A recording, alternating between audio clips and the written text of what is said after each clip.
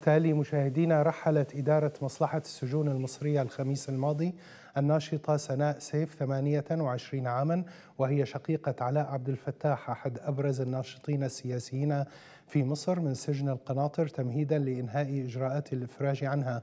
وأعلنت منى سيف الشقيقة الوسطى لكل من علاء وسناء الإفراج عن شقيقتها الصغرى من خلال صورة وتغريدة قصيرة على تويتر. وكتبت سناء على الإسفلت مع إرفاق التغريدة بصورة لها وشقيقتها تسيران معا. وجاء الإفراج عن سناء سيف بعد أن أنهت حكما بالسجن عاما ونصف العام.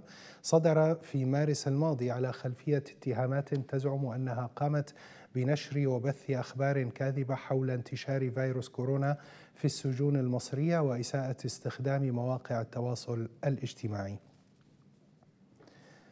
سيد أحمد العطار قضية أخرى ويعني الإفراج عن سناء.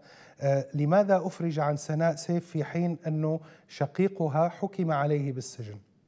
هو بالتأكيد يعني طبعا إحنا بنهني سناء ونهني عائلة الأستاذ سيف رحمة الله عليه والدكتورة ليلى. طبعا اخلاء سبيل سناء هو شيء أسعدنا جدا وإحنا بنسأل قبل ما نقول هو هم اخلوا عليه سبيل الله وإحنا بنقول هي ليه هم ليه هم اعتقلوها أصلا من الأساس يعني؟ ليه هم اعتقلوا سناء؟ سناء ما ارتكبتش أي جرم حسب ال ال ال وأنا كنت متابع جدا ليلتها يعني إن كل الإجراءات اللي تمت هو اعتداء من الداخلية على عائلة سيف أمام سجن ترى لما كانوا أمام سجن ترى عشان يوصلوا حاجات لعلاء أشياء أغراض لعلاء. وبالتالي إحنا بنتكلم في جريمة تحولت من مجني عليها إلى جاني. هم تم الاعتداء عليهم بالضرب تم الاعتداء عليهم سناء نفسها تم خطفها من أمام النائب العام المكتب النائب العام المصري بمدينة الرحاب لما كانت رايحة تقدم بلاغ رسمي في الضابط التي طيب. تعدى عليها. يعني إحنا بنقول هم هي ليه أصلا اعتقلت؟ يعني قبل ما نقول ليه يعني طبعا طيب دعنا دعنا نحيل هذا السؤال ربما إلى ضيفتي التي انضمت إلي الآن. من باريس السيدة ماجدة محفوظ الناشطة الحقوقية المصرية. أرحب بك سيدة ماجدة بالفعل لماذا اعتقلت سناء ومن أين اخترعت لها هذه التهمة؟ بث أخبار كاذبة حول انتشار فيروس كورونا في السجون المصرية. تحياتي لحضرتك ولضيفك الكريم وكل المشاهدين. بالتأكيد جميعا أنه سناء تم القبض عليها من مكتب النائب العام حينما حاولت إنها تقدم شكوى نتيجة تعرضها للضرب المبرح من قبل مجموعة بين قوسين من البلطجية من النساء تعدوا عليها بالضرب هي ومامتها وأختها منى حينما رفعوا لافتات تحذر من وجود فيروس كورونا وانتشاره في السجون بين المعتقلين وخوفهم على علاء من هذه الجائحة أو من هذا الفيروس. كما حال كل المعتقلين.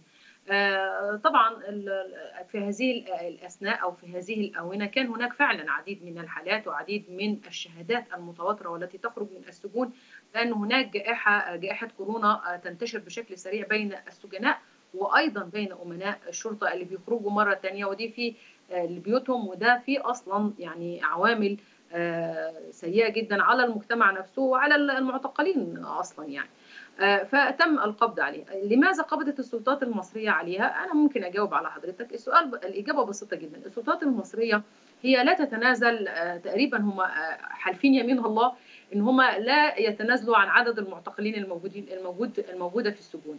وإنه أي حد سيتحدث عن المعتقلين وسيدين تعامل السلطات المصرية سلطات الأمن أو حتى السلطات التنفيذية ممثلة في الرئاسة والوزراء سيتم التنكيل به طبعا كان حالة فريدة جدا أسرة علاء عبد الفتاح مامته وأختينه الاثنين إن هم دائما وابدا بيحاولوا دائما وابدا مهما تم التعدي عليهم ومهما تم الانتقاص من حقوقهم كمواطنين وكأهالي أو ذوي أحد المعتقلين سياسيا كانوا مصممين إن هم يوصلوا صوتهم للعالم كله. فأراد النظام المصري إن هو يعطي درس لهذه الأسرة باعتقال سناء وحتى يقول لهم رسالة واضحة إنه لن يكتفي ابدا بعلاء. وإنما كل من سيحاول سيتم اعتقاله حتى ولو كان سنه